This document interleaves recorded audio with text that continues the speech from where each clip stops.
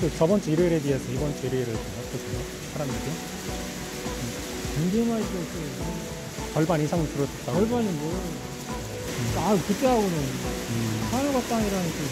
한 얼, 사람이 없잖아요. 쌀렁하잖아요.